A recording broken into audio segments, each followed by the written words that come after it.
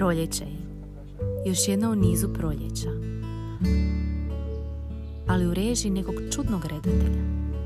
Film se zove Ostajem doma. Papir je prazan. Na nama je kakav će scenarij imati zaplet, rasplet i kraj.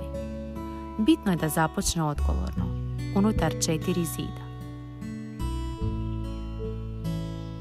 Moj lik Ljubka otkriva nove stvari o sebi, novu glazbu, piše pjesme, uređuje se za rokoko čajanku na terasi.